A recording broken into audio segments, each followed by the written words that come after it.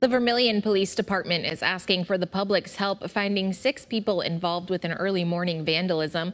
Police posted this photo saying around 1 a.m. the group caused excessive damage to a downtown business. Anyone with information is asked to contact Lieutenant Drew Gortmaker with the Vermillion Police Department.